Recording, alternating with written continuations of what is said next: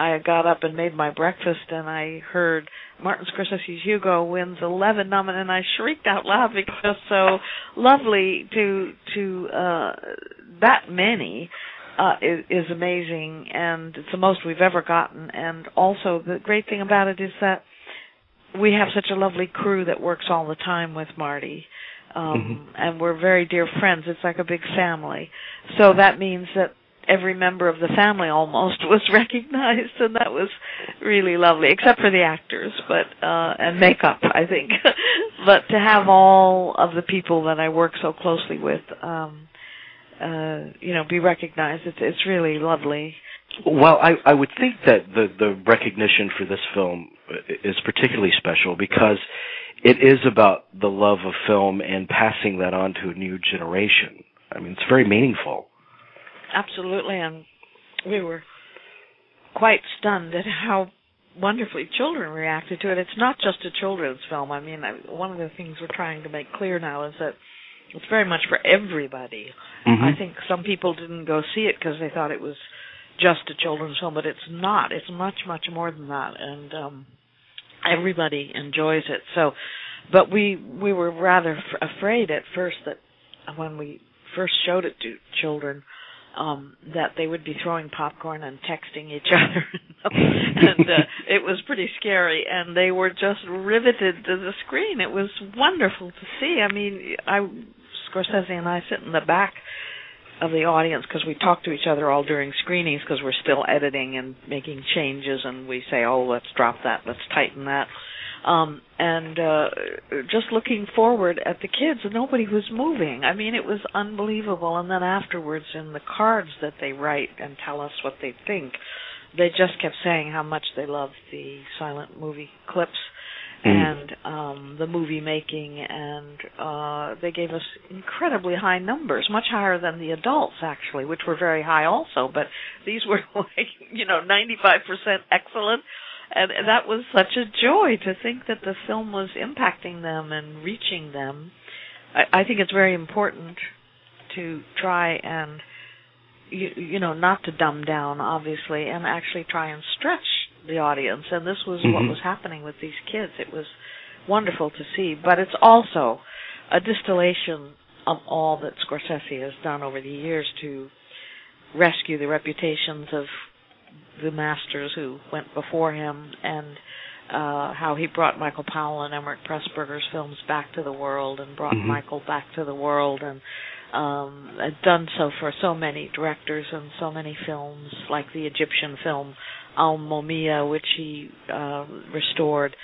It's really a distillation of that I think this movie. So because we love film history so much it, you're right that it was a particularly joyous film to work on Absolutely, it, and you're right. I mean, the the film definitely encompasses all of that. And I was, I, I was talking to Robert Richardson uh, last month uh, uh, Oh, about good. about Hugo, uh, and uh, we talked about much of the same thing. In in that, uh, when I was watching it, I was thinking about Mr. Scorsese when he grew up and and the movies that he watched that led him to want to become a filmmaker. And I was thinking maybe maybe someone of a, the new generation coming up will be watching Hugo and and they will be inspired in that same way. Oh Uh, gosh, I hope so. I hope you're right. That would be wonderful. Uh, so it's such a beautiful kind of thing. But also, I mean, so many of, of Scorsese's films are about movie love. Uh, I mean, Mm. this one explicitly. Uh, so do, do you kind of, uh, find yourself immersing yourself in whatever kind of genre or, or world or particular filmmaker he's, he's kind of paying homage to in some of these projects? Yes, I mean uh, it's al- there's always been something different uh, for each film, by the way, but there's always been uh, something that is uh, sort of an inspiration for Mhm. for the movie we're making, and um, uh, for example, in Gangs of New York, you may have read this. Uh, Marty wanted the opening fight sequence um, uh, in the snow uh, to be cut like Eisenstein's uh, Potemkin in in a certain way. There's a sailor who breaks a dish. He's washing a dish uh, on board the ship um, after the crew has been fed food that's crawling with maggots, and Mm. they're furious about it and ready to revolt. And he sees on the dish, uh, "Give us this day our daily bread," and he smashes the dish. And Marty said, "Look at the way that's cut. He, he didn't use the downward arm movement. Eisenstein instead he used the up arm movement. He fractured everything so that the way the shots are used is almost like a plate fracturing." Mm. and it was a brilliant little moment and he said that's how I would like us to cut the battle sequence and so we did. There we we, we tried to use um uh things sometimes you wouldn't put in a film like the blood on the snow underneath their feet Right. uh, instead of actually somebody hitting somebody. There's a lot of people being hit but um and and fractured it all and changed the speed of it. And um that was all deeply influenced by Eisenstein for example just that one battle scene um and so there's there's uh, always something in each film. He shows the crew movies before we start shooting. And um that so that they're imbued also with that inspiration. And Mhm. of course there were many films to look at for this one. So and many Absolutely. little secret little secret homages uh that are sprinkled throughout actually to films um which is really lovely Is it a difficult process? Uh, because I know that you've also sh- uh, you've also edited uh, uh, movies about the uh, documentaries with Mr. Scorsese about the history of, I believe, American Oh, movies and the Brit- British It's cinema. how- I think you're. Well, we're doing doing the British now. We haven't finished it, but the Italian cinema was a, a particularly joyous one to work on. Uh, Mm. those films, of course, of the neo-realist films of Rossellini and the men who followed him, Fellini and Antonioni. Uh, they they were De Sica. They were enormous influences on Marty when he was a young child. You just Mhm. cannot overemphasize how enormous those influences w- were, and it was a great joy to work on them and find a way to edit the clips so that the audience was hopefully feeling for the film the way they would if they saw the whole thing. And uh what a powerful period of filmmaking, my Yeah. lord. I mean, it just burst out of Italy like a thunderbolt. I don't know. I mean, it must have been the conflict of fascism and communism uh, under which they were living as Mussolini was in power, and the uh, desire to protest against it and not be able to must have been the crucible in which this great work was was formed, and then the war, of course, just solidified that. And these masterpiece after masterpiece came out of that period, so it was Absolutely. such such a joy to work on. I can't tell you. Well, but when you when you edit, uh, when you kind of pull highlights and different scenes and things from other people's work, uh, such as Méliès for Hugo, is that a daunting process? Yeah, well, it was very hard. It's always hard um, because our original edits on those montages of clips were like four times longer, you know, because there's so many incredible things that Méliès did, and uh, that amazing sequence where he's throwing his head up into the music staff. Mm. That I would have loved to have put the whole the whole film in because it's so brilliant. Uh, and even our visual effects person couldn't figure out how the hell he did it until he really studied it. But uh, yes, it, it was very hard to cut down and remove things that we loved, and it, it is when we do the documentaries too. Of course, we would like to make them 15 hours long.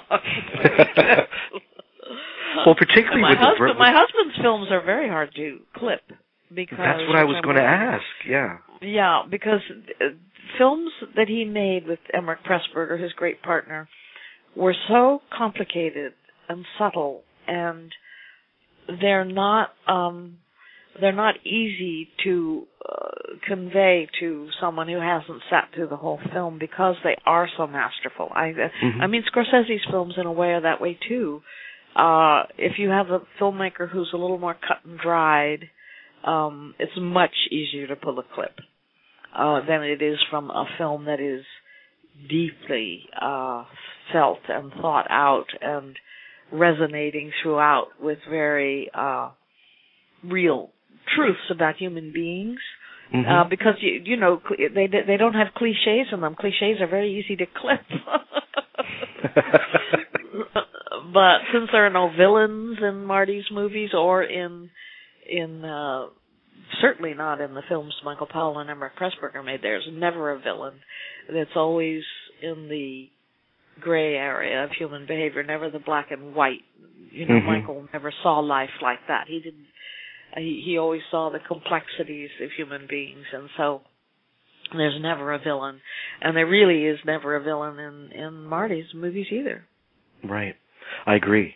And, and you know, you guys have worked together for so long, and um, I've been curious with an ongoing collaboration like that.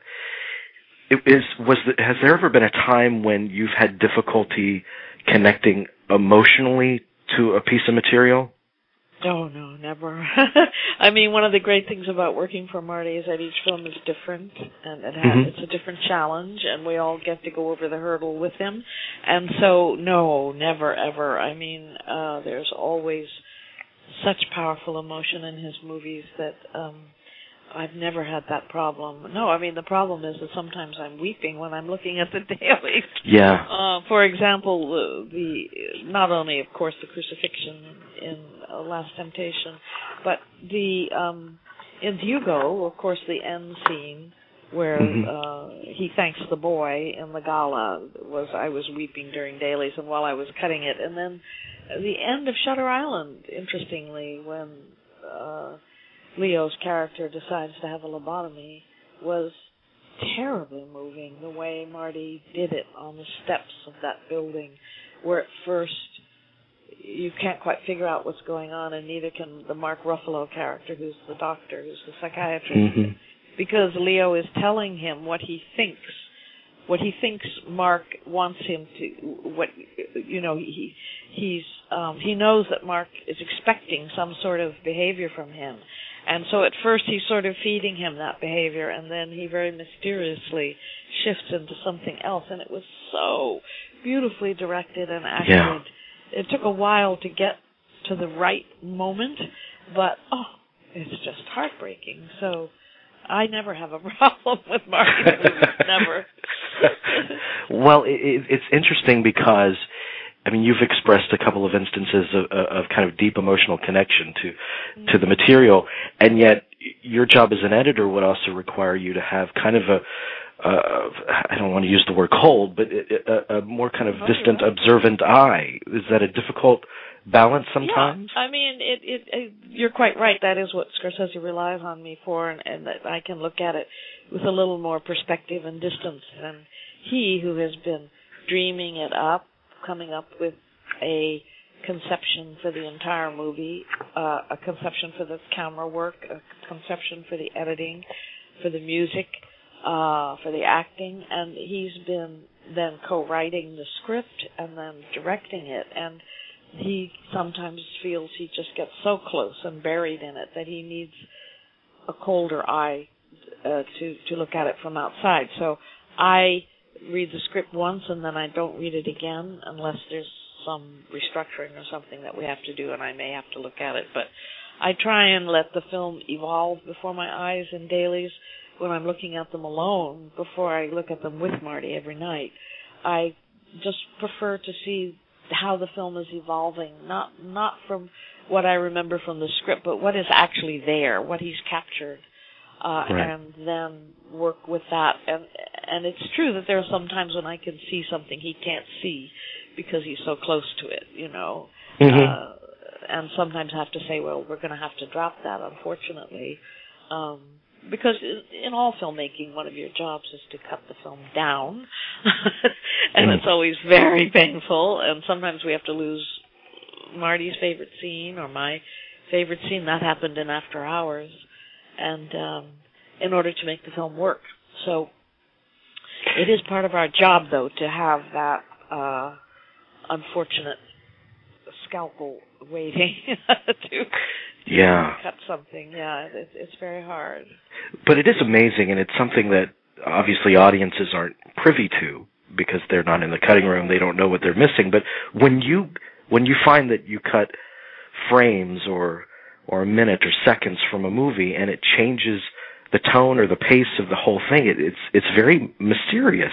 Is there an element of mystery that remains for you? it's it's amazing to us sometimes what happens when we cut something down or rearrange it uh, and then screen it because that's what we do. We screen about 12 times. Most people don't, but we still are able to insist on that because that's how we make our movies. We we screen it. I debrief people afterwards, and when we start with a smaller group and then bigger and bigger until we get to two or three hundred, at which point we have to give them cards. I couldn't possibly debrief them all, but um, it's amazing what you learn from audiences. Things that you thought were working aren't at all, or they don't understand mm. something, or uh, they think something isn't funny that you hope they would think was funny. So you have to keep go going back and reworking and reworking. And as you do that, it's it's very mysterious how uh, things evolve. And even we sometimes will try something and then screen it and go, my gosh, that made that character emerge, which we didn't expect, you know. Uh, it, it's it's quite interesting, but you would have to sit here for six months and I make a thousand decisions a day. It would be so boring. But but um I, I wish there was some way that I could sort of show people. One day I will. I'll I'll show all twelve cuts, you know, and show yeah, what happened yeah. in between, so they can maybe get some. I never get time to put that together, but uh I do have to at some point. It's important. I, I think so too. I, but you guys do such bold, uh, risky. There's there's a sense of experimentation going on a lot in, in some of these films, and it, it, with the editors that I've spoken to in the past, um, I mean they they refer to editing as the invisible art. but I mean, I'm very aware of the cutting in Scorsese's movies, but they further my investment in the film emotionally. Ooh, that's a very beautiful way of putting it. Um, yes, he is a great editor. Editing has always been his passion, and it's his favorite part of filmmaking. And his early films show, his student films even show incredible, bold editing. Uh, and that has always been um, his predilection. Uh, that's why Eisenstein is so important to him. Mm-hmm. And uh, so he he and I really would sometimes like to slap the audience in the face instead of being invisible, you know. Yeah. And uh it's funny because sometimes I've been criticized by my peers. Uh at one point somebody said to me, "Why did you do that jump cut in Goodfellas?" And my answer to him was, "Which one?" I mean, there were so many because yeah. we were dealing with uh particularly one character who runs the nightclub. And uh he was a person that Marty had seen on at 2 a.m. in the morning on some very strange local show. And he said oh that guy is brilliant. I want to have him in the film. But he was not a trained actor. So when he was improvising with Paul Sorvino he wasn't sometimes uh aware of what a, a professional actor would know to do at times. And so sometimes I had to make some awkward cuts. But the improvisation was so brilliant who cares, you know? Mm-hmm, but mm-hmm. some people um object to that and if you go back through the history of film, you will find mismatches and bad jump cuts all over the place. Uh, so it's it's the least thing for people to be concerned about, as far as I'm concerned. We we usually, you know, they used to do this thing where they would write up how many jump cuts we had done, or how many mm. bad cuts they they think uh, that we had done in films like Goodfellas, and there were 300 or something. I don't know. Please, it's ridiculous. you have to do what's right for the movie, even if. Well, that's it. it that's it. yeah. yeah.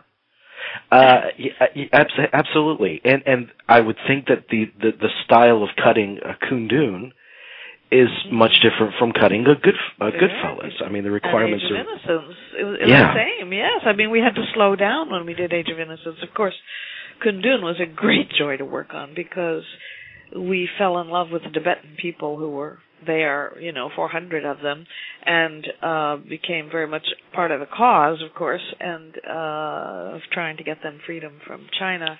But um, they were so lovely, and they they weren't actors, and they Mm. were wonderful because it was their story they were telling, and they felt so deeply about it that they were unbelievably good. I mean, uh, we were just stunned at how good they were, and uh, that was a joy to work on you know, because it was coming just out of their being. It was Yeah. in their souls, and uh, it was just heaven to work on and to remain friends with them for the rest of my life. Um, and it was Marty did ask me to study something there. He asked me to uh, look at the book of how sand mandalas are made. Beautiful idea of the monks spending two weeks creating these beautiful sand mandalas uh, with colored sand and funnels. That's it. And uh, they make these beautiful things, and then after two weeks, um, it's washed away into the river. A very beautiful Buddhist idea. And so Marty said, I, I want to shoot a section of the Sand Mandala to open the movie, and I need to know what is important. You know, what does that God mean, and what does this mean? And so I got to go watch the monks do one, and it was just heaven. And then learn about it, read the book, and that that kind of thing goes on a lot in our movies. Mhm. Mhm. I wanted to ask you about one film in particular because it's it's the Scorsese film that I go to most often. I watch it at least twice a year, and, and that's that's Casino. Oh, I've always adored Casino. And I think about the the accomplishment of that movie. And there were so many balls that you had to to to kind of balance up in the air because you had multiple narrations, multiple character arcs and storylines and and and, and a very a kind of an epic canvas but told in a very intimate way. Uh tell, tell me about that experience of putting that together. Yeah, that that was a very hard movie to to cut uh, because of, as you say, because of the narration, and and I, uh, we reworked and reworked and reworked the narration in the beginning because I just felt it wasn't explaining clearly enough what was going on, how the mafia was controlling the casinos, and and Marty was a bit reluctant at first because he you know, my husband Michael Powell said to us, "Never explain," which is Mhm. which is a very good thing to try and do if you can in movies, but sometimes you have to. And uh so we just kept rewriting and rewriting and re-recording. Um, you know, the actors doing that. Uh, it was very very hard to get it exactly right. And it could be a little bit sprawling that movie because of the nature of it. Mhm. Uh, and the, the wonderful thing that's happened, and you're actually um, making that clear, is that it, when it came out, it was very badly received. You know, this isn't. Oh, it's not Goodfellas. People said. No, it's not Goodfellas. It's about Las Vegas. It's something entirely different. So it has to be different. We can't keep making Goodfellas over and over again as much as everyone wants us to. They always say to us, "Couldn't you make the last 20 minutes of the film like the last 20 minutes of Goodfellas?"